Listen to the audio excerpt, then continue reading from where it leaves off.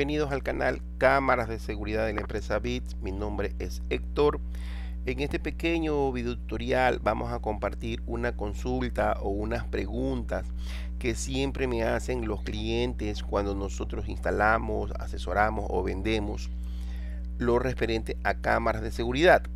Eh, ¿Qué tal legal o ilegal es colocar las cámaras de seguridad? Ya sea en el trabajo, en la casa, en la calle, etcétera. Entonces, nosotros eh, en este, he estado investigando eh, este tema porque este tema eh, depende mucho de los países. Cada país tiene sus propias reglas, normas, procedimientos, pero me he basado una que es la Ley Orgánica de Protección de Datos. Esto es en España. En nuestro país, por ejemplo en Ecuador, tengo desconocimiento si existe alguna ley de protección de datos, en este caso de video y de audio. Eh, esta regulación afecta tanto cuando tú tienes una grabación de video, ¿no verdad? En este caso, la empresa o el representante de la, de la empresa o de la corporación es el responsable tanto de la captación, transmisión, conservación y almacenamiento de las imágenes o el audio. Todo el proceso, todo el proceso de grabación, almacenamiento, es el encargado o el responsable, el representante, en esta oportunidad de la empresa que está grabando las imágenes. Las cámaras de vigilancia son instaladas en espacios privados, no pueden obtener imagen en espacios públicos. Esa es una de las normas. Significa que tú puedes vigilar tu propio terreno, tu propia empresa, tu propia casa, pero no puedes vigilar en este caso eh, a los vecinos. Eso es prohibido, salvo que resulte imprescindible para la finalidad de vigilancia que se te pretende o resulte imposible evitarlo. Eh, por ejemplo, tú quieres ver el portal de tu casa y lo estás viendo disimuladamente a, tu, a tu vecino pero este objetivo principal es verificar, controlar, monitorear el ingreso de tu casa. No vas a poner una cámara para ver a los vecinos, eso está prohibido. Una de las normas indispensables es que tengas o coloques eh, una identificación, un cartel que indique que existe cámaras, que estás grabando y debes de colocarlo en un lugar visible. Esta es una pregunta muy importante. ¿Es legal utilizar la cámara de vigilancia en un centro de trabajo? Todo se centra en la intimidad del empleado. Por ejemplo, tenemos un motel, un hotel. El objetivo o el propósito de las cámaras, por ejemplo, viene a ser la parte de la seguridad, no el proceso que están haciendo los clientes o qué es lo que están haciendo el cliente. Quiere decir que no vas a colocar una cámara dentro de un dormitorio.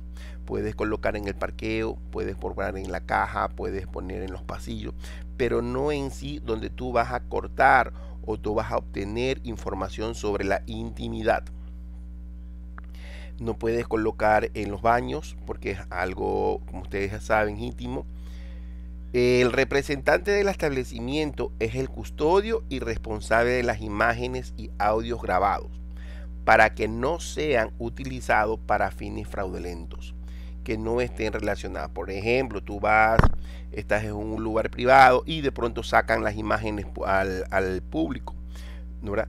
Tú puedes y tienes el derecho de acusar, en este caso al representante del establecimiento, porque él es el custodio y responsable de las imágenes que están grabando. Todos los datos de audio y video solo pueden ser manejados por el responsable. ¿Qué quiere decir? Que no vas a, dejar que todo el mundo manipule, en este caso, tus videos que están en el disco duro obvias razones debes de tener un password y un usuario, ¿no verdad? Para poder es evitar este tipo de extracción de documentos. Y queda prohibida la utilización de terceros. No es que viene el vecino y diga, dame las imágenes y te llevas el video. ¿no verdad? Eso no puede. O va una tercera persona a un hotel y dice, dame el video.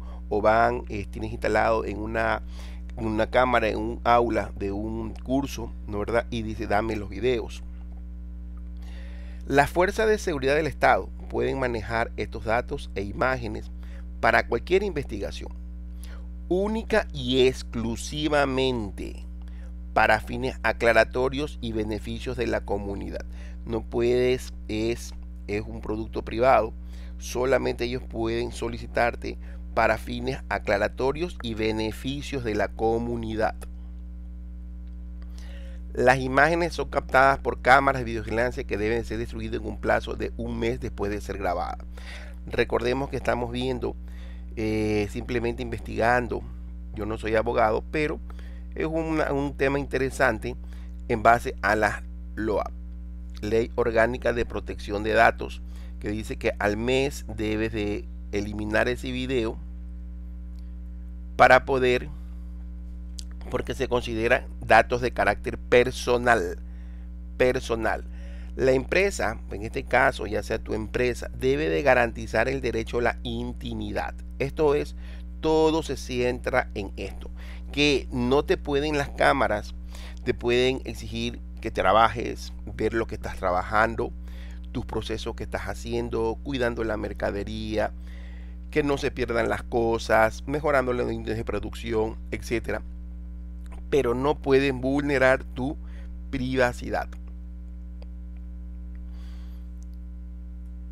No deben de ser colocados en aquellos lugares de acceso restringidos y reservados únicamente para los trabajadores. Por ejemplo, tienes un área de descanso, tienes unas camas, unas hamacas, te descansas una media hora una hora o una sala donde es un área de descanso, no hay cómo colocar aquí, no puedes colocar en los baños, dentro de los baños, o colocarlo dentro donde se cambian las, eh, se cambian las vestimentas. Eso no puede ir. Todo aquello que va en contra de tu intimidad, no se puede colocar las cámaras. Y otro tema importante, ¿qué validez judicial tienen las pruebas contra las cámaras ocultas? Vienen, te colocan una cámara oculta, ¿no verdad? Y es válido o no es válido. Ese tipo de información puede estar un detector de humo, de movimiento, un reloj, etcétera, ¿no verdad?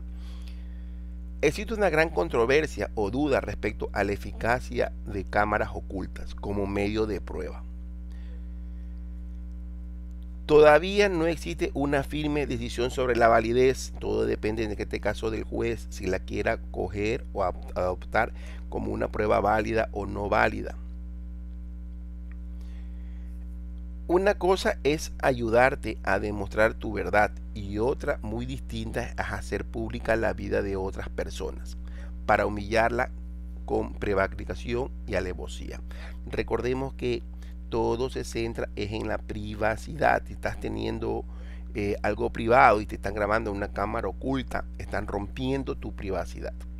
No puedes, o sea, lo que puedes hacer es grabar cuando llega, pero no cuando hace el proceso. Nada está claro ni decidido sobre dicha cuestión. No obstante, lo importante es que el asunto es analizar los siguientes puntos. Viabilidad. Cuando es imprescindible y necesario su uso para determinadas investigaciones en las que no se puede probar con delitos de otra manera.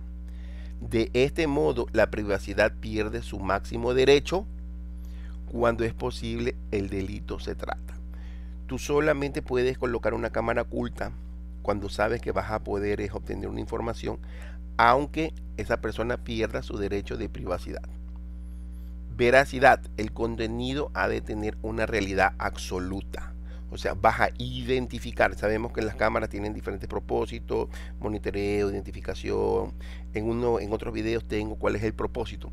Pero si tu propósito es identificar, eh, puedes colocar una cámara oculta si estás inmerso en un, asunto judicial que te encuentras siendo juzgado y consideres que la situación está injusta, estás en un proceso judicial y sabes que te están acusando algo que tú no consideras que es lo correcto, se puede recorrer, se puede afectar a la decisión final del juez, siempre y cuando es importante que consideres si tu caso está inmerso en unas cámaras ocultas. ¿Qué quiere decir? Que te acusaron de algo y tú sabes que eres inocente, entonces necesitas colocar una cámara oculta para poderte defender. poder eh, contrarrestar o cambiar la decisión del juez.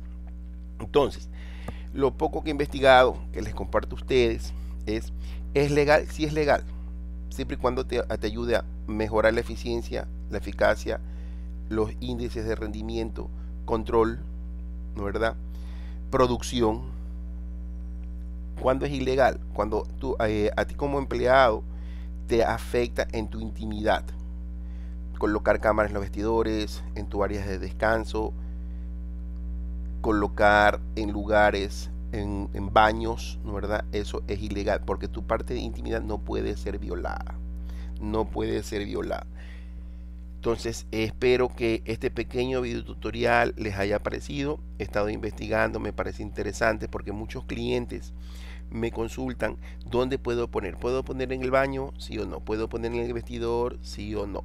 Entonces, eh, eh, con la nosotros recuerden, nosotros vendemos, instalamos cámaras de seguridad y siempre asesoramos a los clientes para que no cometan el error de poner en un área donde se le vaya es a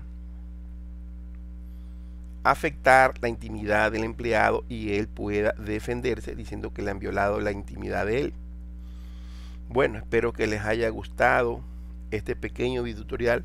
No se olviden de suscribirse o me pueden escribir a mi WhatsApp para cualquier consulta o duda referente a las cámaras de seguridad. Gracias.